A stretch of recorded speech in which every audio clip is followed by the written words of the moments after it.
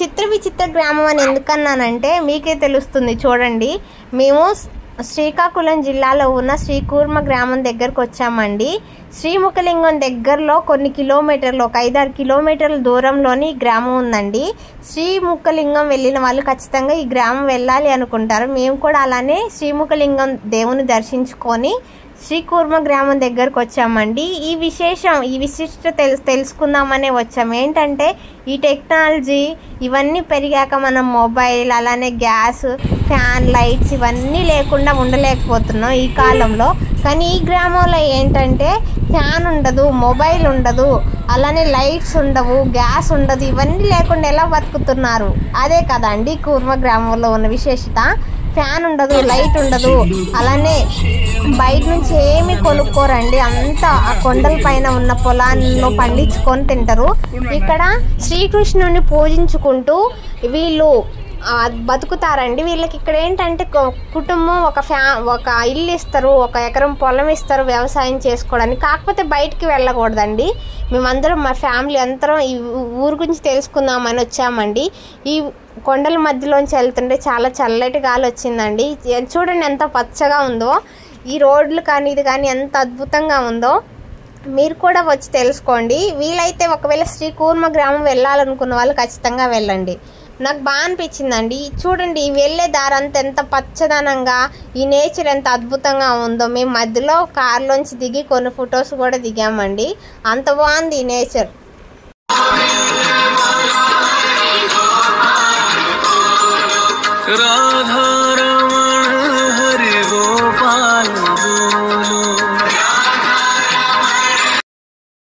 మొత్తానికి అందరం కలిసి శ్రీకూర్మ గ్రామం వచ్చామండి.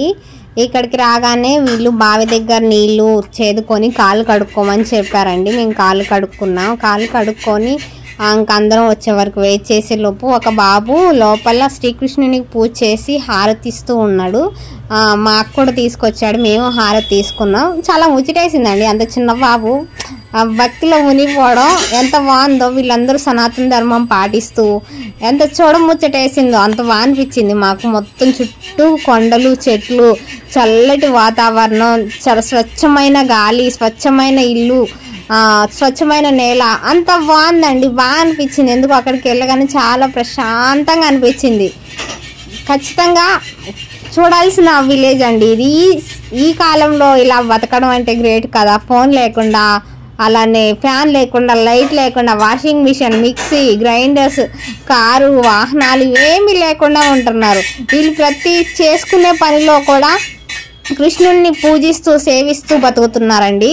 ఇంకోటి వీళ్ళు పండించే పంటలు ఆర్గానిక్గా ఎలాంటి మందులు వేయకుండా పండిస్తున్నారు అదే పంటని తింటున్నారు. బాగా అనిపించింది ఇంకా లోపలికి రమ్మన్నారు. మేము ఫైనల్గా లోపలికి వెళ్ళామండి. వెళ్ళగానే కృష్ణునికి పూజ జరుగుతుందండి. అక్కడ కొద్దిసేపు దేవునికి దండం పెట్టుకొని అలా కొద్దిసేపు అక్కడ నిల్చొని అక్కడ కట్టిన ఇల్లులు కానీ మొత్తం చెక్కతో కట్టారండి. చూసాం బాగా అనిపించింది.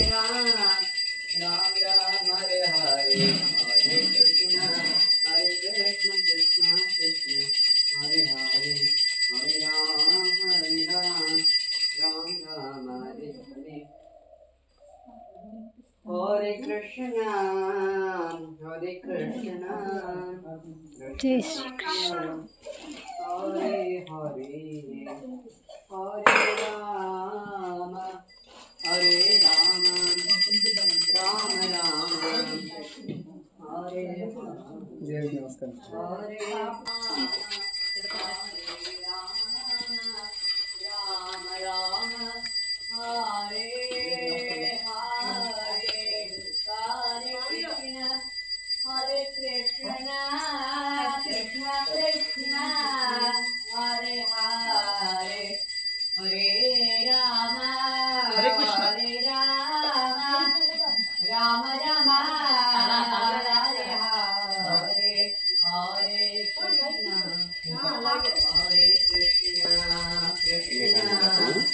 వంటశాల చూపిస్తారంట. నాలుగు నాలుగు నాలుగున్నర క్లోజ్ చేస్తారంట. ఇప్పుడు ఈ పాత్రలు ఉన్నాయి కదండి ఇవి. ఈ పాత్రలు ఈ పంచలోహ పాత్రలు అంటారు.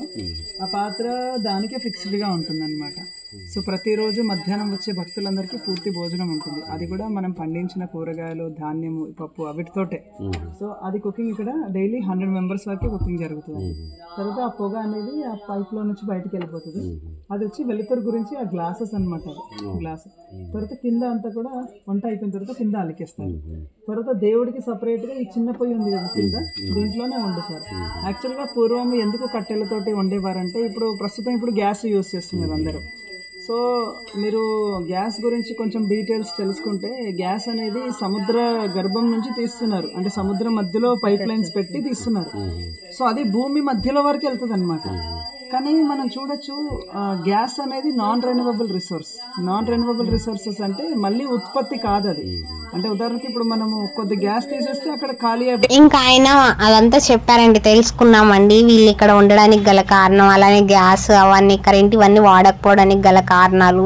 ఇలానే మనం ఇవన్నీ మొబైల్స్ ఇవన్నీ వాడడం వల్ల రేడియేషన్ వల్ల పక్షులు ఇవన్నీ చనిపోతున్నాయి కదండి. ఇవన్నీ చెప్పారండి. అందుకని వీళ్ళు ప్రపంచానికి కొంచెం దూరంగా అలానే ఈ వాతావరణంలో ఈ ప్రకృతి వల్ల బతకాలనుకుని ఇక్కడికి వచ్చేసారండి కృష్ణుని పూజించుకుంటూ అలానే ఇక్కడ మాకు ఇంకా భోజనం టైంకి వెళ్ళామండి. మేము అనుకున్నాం తినేసి రాలేదే బాక్స్ కూడా తెచ్చుకోలేదు ఇంత దూరం వచ్చామని అనుకున్నాం బట్ సమయానికి మాకు భోజనం పెట్టారండి. కడుపు నిండా తినేసామండి. వీళ్ళు పండించిన సొరకాయ కూర అలానే వీళ్ళే పండించిన పప్పులు పప్పులతో పప్పు చేశారండి. అలానే వీళ్ళు వ్యవసాయం చేస్తే వచ్చిన ధాన్యంతోనే అన్నం వండారండి. అలానే బ్రౌన్ రైస్ కూడా వీళ్ళే పండించారండి. అది తినేసాం. అలానే రాగితో చేసిన రాగి స్వీట్ చేశారండి. బాగా అనిపించింది. తిన్నామండి.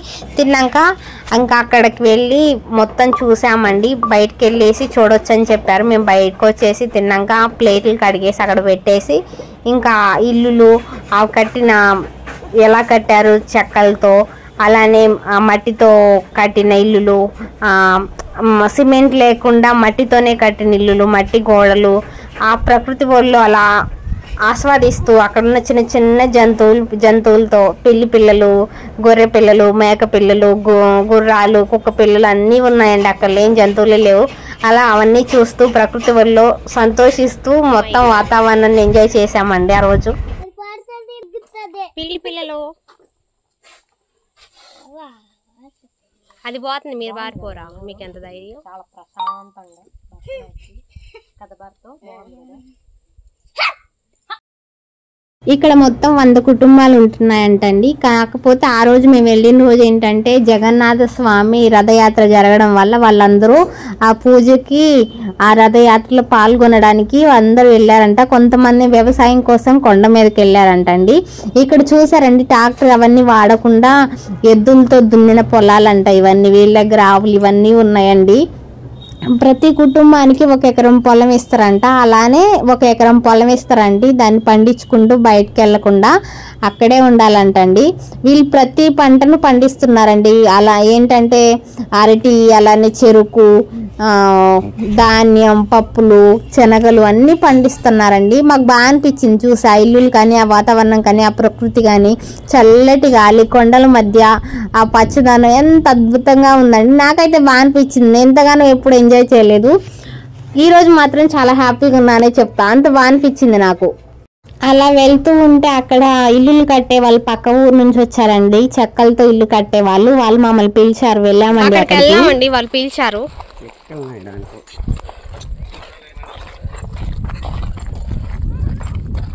ఆ చెరుకు కదా పండేది.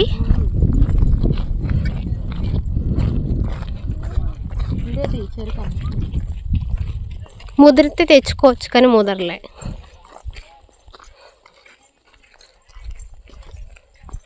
మట్టి ఇల్లులన్నీ కొండ ఎందుకు ఉండవు ఉంటాయి?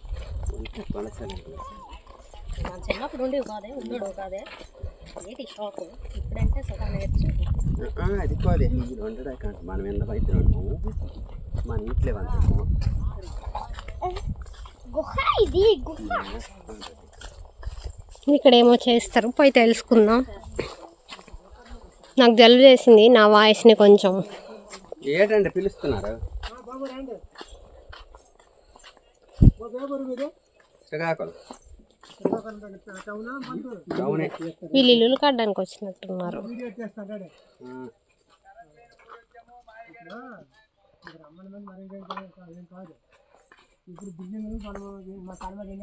ఆ. ఎన్ని డబ్బులు ఖర్చు అవుతుందో వీడియో పైకి. మీరు వేసారు ఇది? ఆలే మీరు సొంతగా వేసారా? పంచాయతీ ఎక్కొచ్చారా పని చేయలేదు మా కూలి ఊళ్ళేనా? ఏ ఊరు నుండి వచ్చారు కింద పెట్టాలి కూడా ఉన్నది కదా. పెట్టరా? ఆదివారం పెడతారు. నైట్ ఉండొచ్చా మీరు? మేమంతా మేము మీద కొంత పని అయిపోతే వెళ్ళిపోతారు. పని అయిపోయిన తర్వాత మరి మనమంతా నైట్ ఇక్కడ పాములు గట్ట ఉండవా? ఉంటాయి అంతే కదా? అలా కొండ ప్రాంతం కదా? ఉంటాయి నెమలు ఉంటాయి కొండ మేకలు ఉంటాయి. అడి కొండలు ఉంటాయి. మరి మనకు తెలుసో తెలియకో గడ్డిలోటో అదో గాబలో మనం అడిగేస్తే మనకు కలుస్తుంది ఇది. పొరపాటున వచ్చింది అనుకో ఇది ఇక్కడ ఒక కర్ర ఉంటుంది. కర్ర అంతే. ఆహా. పెట్టేస్తారా? ఎవరైనా పట్టుకోవచ్చు నువ్వైనా పట్టుకోవచ్చు? పాములు పట్టే కర్ర. పాము ఇరుక్కుపోద్ది అందులో. మన కత్తితో ఎలాగైతే కడిగి చేస్తామో ఆ పట్టే నెక్కినామంటే పట్టాలి ముక్కలైపోద్ది? మీరు ఇక్కడ రైతురా లేకపోతే వదిలేస్తారు దూరంగా మళ్ళీ తీసుకెళ్ళి వదిలేస్తారు. దాన్ని వదిలేస్తారా? కాదండి మీరు ఇక్కడ రైతులా లేకపోతే ఇదిగో ఈ ఇల్లులు తయారు చేసేవాళ్ళు. ఇల్లులు. ఇది ఎంత ఖరీదు అవుతుంది ఎంత ఎదురు ఇది పడుతుంది అక్కడ బోల్డ్ ఖరీదు అవుద్ది. మరేటి? కొంటే. కొంటే కాదు వాళ్ళు పంచేయడానికి వచ్చారట వాళ్ళు ఏపిస్తున్నారట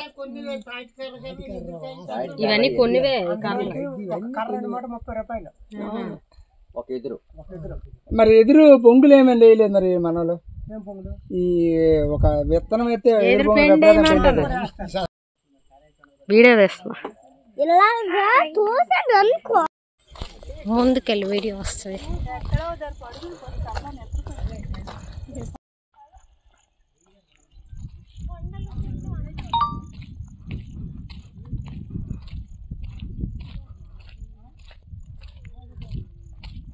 అలా ప్రకృతిని ఆస్వాదిస్తూ ఆ చల్లని గాలిని ఆస్వాదిస్తూ ముందుకెళ్తూ ఉంటే అక్కడ ఇల్లులు కనిపించాయండి కడుతున్నారు. అక్కడ సిమెంట్ లేకుండా మట్టితోనే ఇల్లు కడుతున్నారండి. కాకపోతే ఇటుక పెడ్డలు. అలానే వాళ్ళు సున్నం ఓన్లీ సున్నం మాత్రం వేస్తారంట. ఇల్లు కట్టినాక పైన పెంకులు అండి వాడేది. అక్కడ ఇల్లులు కూడా చాలా బాగున్నాయండి. ఒక కుటుంబానికి ఒక ఇల్లు అలానే ఎకరం పొలం ఇస్తారండి. ఇల్లులు కూడా చాలా పెద్దగా ఉన్నాయి నాలుగు గదులు. ఎంతమంది అయినా ఉండని కాకపోతే ఆ కుటుంబంకి మాత్రం ఒక ఇల్లు ఇస్తారు. అంత బాగున్నాయండి ఇల్లులు. మొత్తం చూసామండి. అలా తిరుగుతూ తిరుగుతూ ఒక ఇంటి దగ్గరికి వెళ్ళామండి. వాళ్ళతో మాట్లాడాం. ఇల్లు కట్టే వాళ్ళ దగ్గరికి వెళ్ళి మాట్లాడాం. కొద్దిసేపు అక్కడే ఉన్నాం. మీరు వచ్చేయండి చూద్దాం.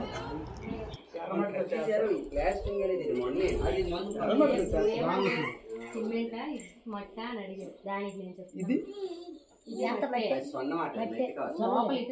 అంటే మీద ప్లాస్టింగ్ చేసింది కాంగ్రెస్ తలుపులు మంచివే పెట్టారు. అని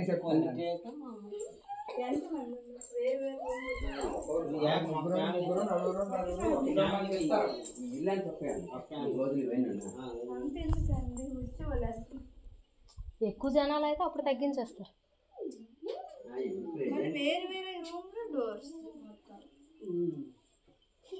చాలా పెద్ద ఇల్లు వస్తుంది.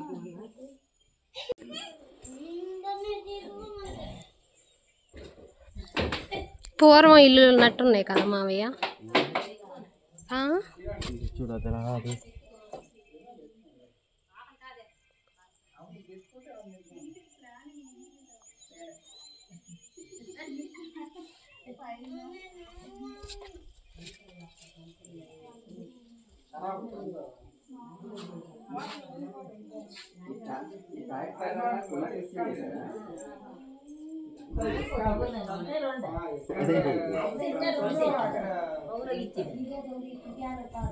మీరు ఇక్కడే ఉంటారా?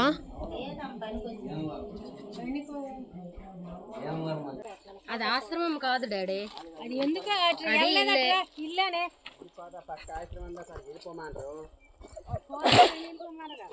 మావయ్యకి నచ్చింది. నేను ఎప్పుడు ఊర్లో మన పొలాలు చేయను వెళ్ళలేదు. అయ్యో.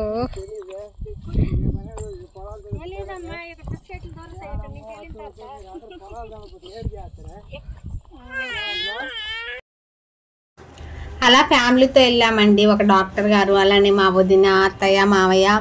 వాళ్ళ పాప మాత్రం ఫుల్ ఎంజాయ్ చేస్తుందండి. కొయ్యి కొయ్యి అని అరుకు మరుచుకుంటూ మా మామయ్య మాత్రం వాళ్ళ పూర్వకాలంలో వాళ్ళ రా- వాళ్ళ తాతయ్యలో వాళ్ళు ఉన్న టైంలో ఉన్నది అంత గుర్తొచ్చి మా మామయ్య బాగా ఎంజాయ్ చేస్తున్నారండి. మనుషులకి అందకుండా ముందే వాళ్ళు ఎలా అన్నారు అక్కడ చూడమన్నారు ఎక్కడ చూడమన్నారని మాకు దొరకకుండా స్పీడ్ స్పీడ్కి వెళ్ళిపోతున్నారండి ముందే చూడడానికి మా అత్తయ్య ఏమో ఇవన్నీ అప్పట్లో ఉన్నాయే కదా ఇప్పుడు మళ్ళీ తిరిగి వచ్చేసాయి అనేసి మా అత్తయ్య ఇంక వెళ్ళిపోదాం రాండి అంటది. మా మావ ఎక్కడికి వెళ్ళేది పాండి చూద్దాం అనేసి మొత్తం లాక్కొని వెళ్తున్నాడు మా మావ ఇంత దూరం వచ్చి వెనక్కి వెళ్ళిపోవడానికి పాండి చూద్దామని మా మావయ్య తీసుకెళ్తున్నారు. ఇల్లు చూసారండి? ఎంత అద్భుతంగా ఉందో. నాకు ఇల్లు చూస్తే కేరళ గుర్తొచ్చిందండి. కేరళలో కూడా ఇలానే ఉంటాయి కదా. చుట్టూ కొండలండి. కొండల మధ్యలో ఇల్లు ఎంత బాగుందో.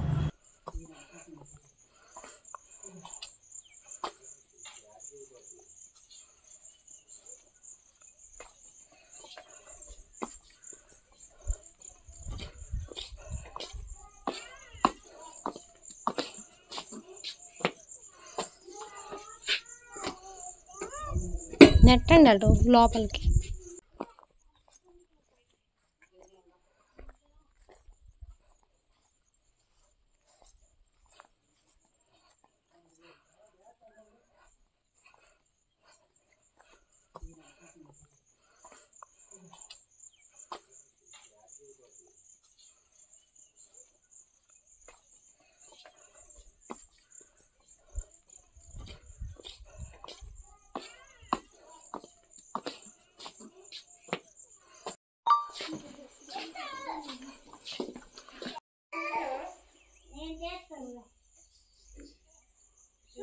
ఇంకా అంతా ఇల్లు అంతా చూస్తున్నాం అండి. ఇక్కడ జరిగే ఇన్సిడెంట్స్ చెప్తాను. ఆ డాక్టర్ గారు దాని మీద కూర్చొని ఈ కూర్మ గ్రామానికి రాజు నేనే.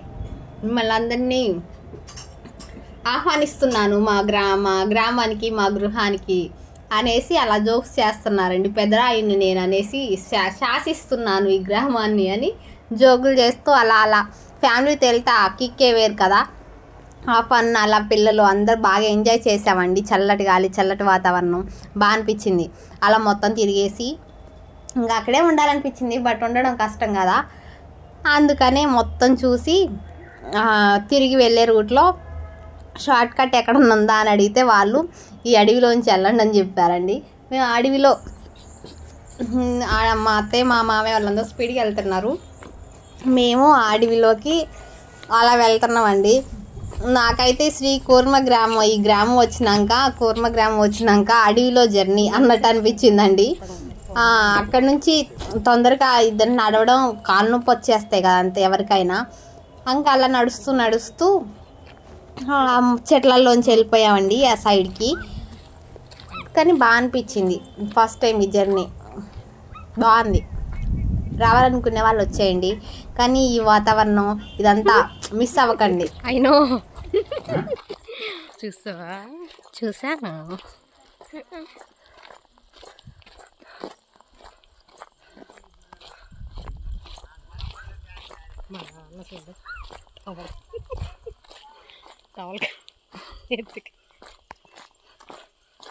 అడవుల్లో మా ప్రయాణం. నేనేమనేను గిన్నెకాయలు ఉన్నాయా గిన్నెకాయలు ఉన్నాయి కొన్ని రాళ్ళు ఇసిరేరా మేము వెనక స్లోగా వీడియోలు ఫోటోలు దిగుతూ నడుస్తుంటే మీరు తప్పిపోతారు బేగ రాండి అనేసి మా మావి పిలిచారండి. మేము అలా వెళ్తున్నాం. ఇంకా ఇక్కడైతే మామిడి చెట్లు కొబ్బరి చెట్లు అడవిలోనే అండి. అన్ని పండ్ల మొక్కలు ఉన్నాయి. వీళ్ళు న్యాచురల్గా కోసుకొని తింటారండి. ఏ మందు వేయకుండా కొబ్బరి చెట్లు మామిడి చెట్లు అరటి చెట్లు అన్నీ బాగున్నాయండి. అలా నడుస్తూ నడుస్తూ అడవిలో తప్పిపోయినాం. అది నాకేంటి అడ్వెంచర్ మూవీస్ గుర్తొచ్చాయండి. ఇక్కడ తిరుగుతున్నంతసేపు. అడవిలో తప్పిపోతే ఎలా రావాలనేసి నేను చిన్నప్పుడు అడ్వెంచర్ మూవీస్ చూసేదాన్ని. ఇక్కడ తిరుగుతున్న కొద్దిసేపు కూడా నాకు ఆ ఫీల్ వచ్చిందండి. ఇక్కడ తప్పిపోతే మేమందరం కలిసి అనేసి అట్లా జోకులు వేసుకుంటూ అలా అలా తిరిగామండి. బాగుంది కాకపోతే. ఫ్యామిలీతో అడవుల్లో తిరిగితే ఆ కిక్కే వేరు కదా. అలా తిరుగుతూ తిరుగుతూ జోకులు వేస్తూ అలా బాగా అనిపించింది మాకు శ్రీ కూర్మ గ్రామం జర్నీ. రావాలిగా మరి? పెంకుటిల్లు మట్టితో కట్టిన ఇల్లులు చట్టిల్లు చాలా బాగున్నాయి.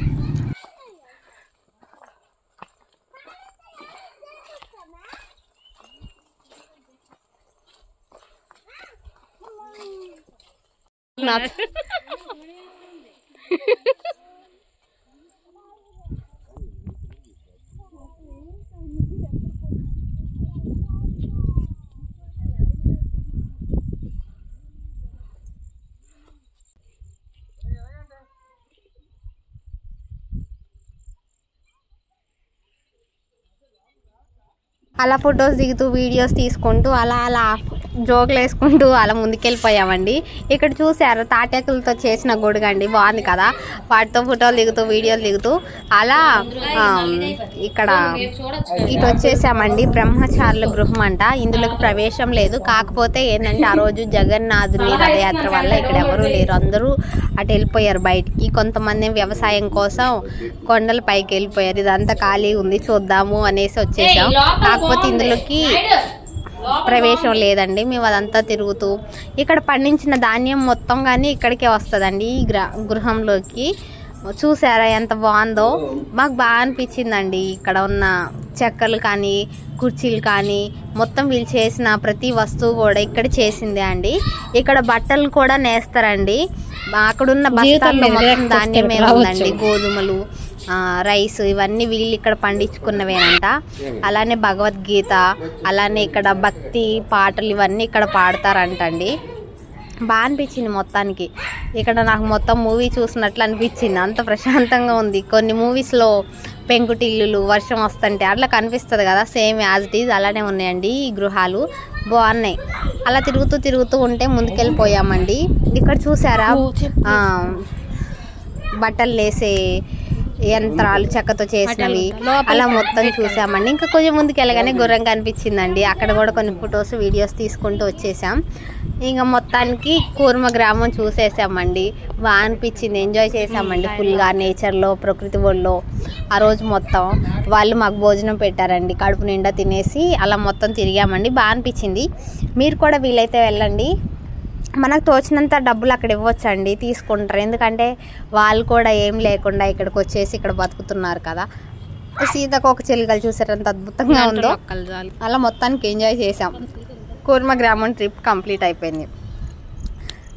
Thank you so much everyone me TS పిల్ల శ్రీకాకుళం ముచ్చట్లు కూర్మ గ్రామం విశేషాలు ఇవి. నెక్స్ట్ గుజరాత్ వెళ్ళిపోతున్నా కాబట్టి గుజరాత్ ముచ్చట్లు రాబోతున్నాయి. సబ్స్క్రైబ్ చేసుకోండి. థ్యాంక్ యూ సో మచ్ ఎవరైనా. ఇక్కడ ఇంకోటి చెప్పడం మర్చిపోయినా. గ్రామ పంచాయతీ కూడా ఉందండి. కోర్మ గ్రామ పంచాయతీ కార్యాలయం అది. అక్కడ కూడా ఇక్కడ చిన్న చిన్న పంచాయతీలు ఏమైనా ఉంటే అక్కడే జరుగుతాయంట. ఆ కుక్క పిల్లలు కానీ కుక్కలు కానీ మొత్తం వీళ్ళే సాకుతున్నారండి వాటిని. బాగా అనిపించింది. ఎంజాయ్ చేసాం ఆ ట్రిప్ని నచ్చితే సబ్స్క్రైబ్ చేసుకోండి. థ్యాంక్ యూ సో మచ్ ఎవరి